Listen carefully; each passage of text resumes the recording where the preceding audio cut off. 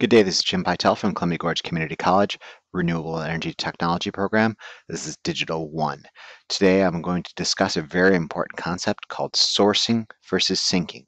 Now you guys are going to be doing a number of labs where you're going to indicate the presence of a 1 or 0 using an LED.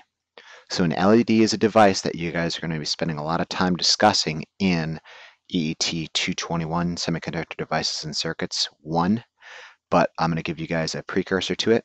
So a LED is a light emitting diode. And a diode is basically an electrical check valve. Very similar to our check valves in hydraulics, which you've all taken. Basically, there's a ball that's fitted against a seat. When flow tries to go in this direction, it jams the ball in the seat and it cannot flow. And if flow tries to come this direction, it pushes the ball off the seat and it can flow. So that's exactly the same with a diode. Basically, a diode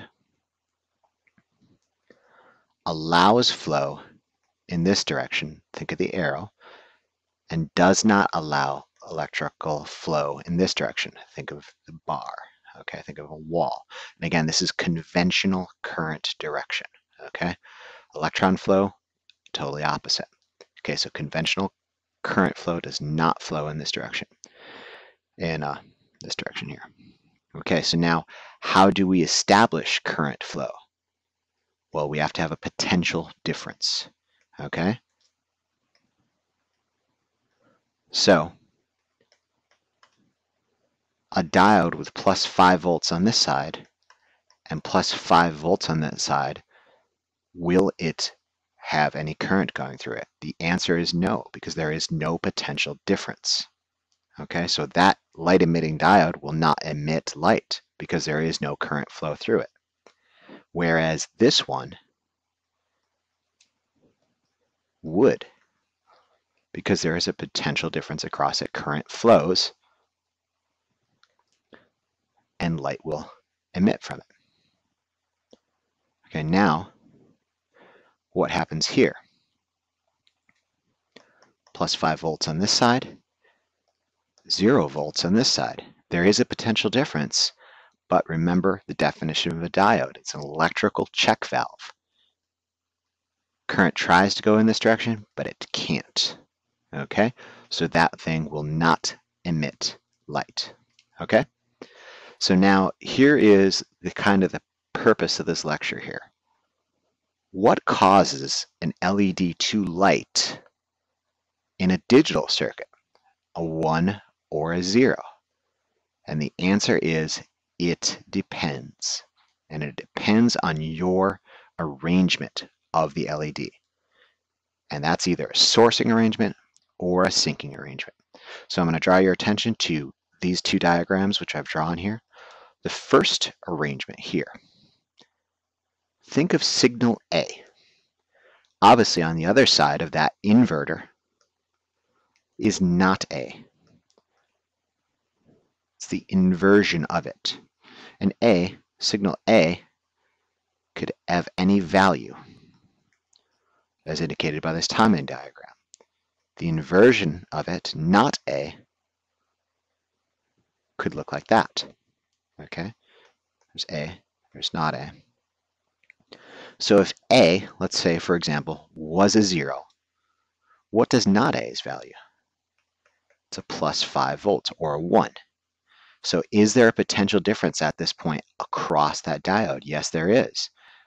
And current flows because it's electrical check valve and it's flowing in the correct direction so that LED will light. So what's happened there a zero has caused that LED to light. A zero on A has caused that LED to light.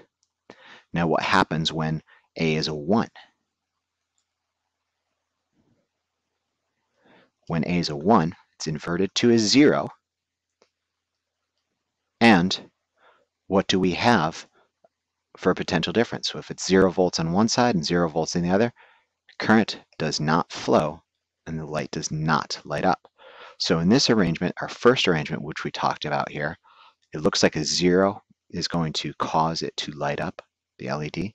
But what this is called, so our next slang term,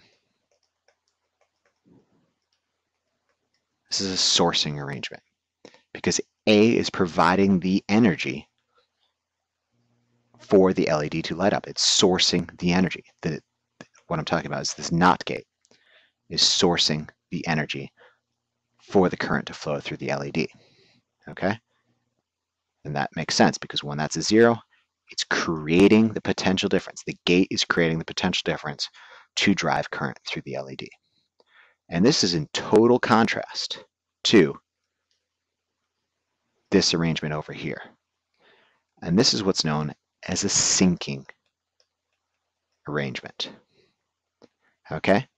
So now notice on this side of the LED, we have a plus 5 already. So what would cause that to light? A zero on this side, basically establishing a potential difference across the LED and current will flow. So what do we need to get a zero? Well, A needs to be a one. Okay, so the answer is, like I said earlier, it depends a one or zero, depending upon your arrangement to get the LED to light. Okay, so a sourcing arrangement, excuse me, a sinking arrangement this is the way it was described to me as a student. You've got a sink full of water, i.e.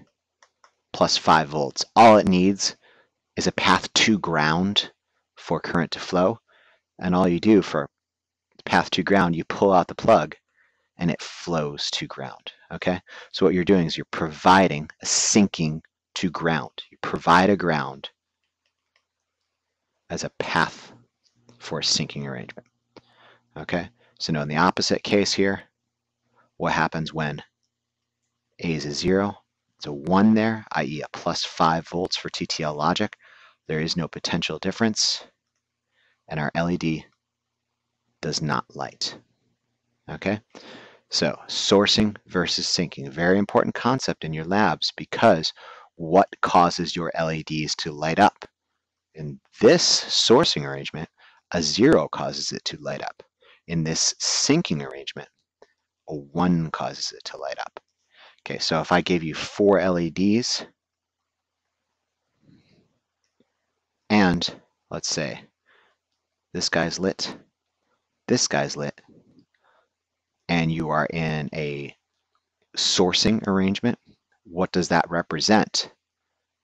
Well, if it's if you're taking signal A there, basically this would be a 0, 1, 1, 0. And what I'm doing is A3, A2, A1, A0. But if I was using a sinking arrangement, that would be 1, 0, 0, 1. Okay, get it?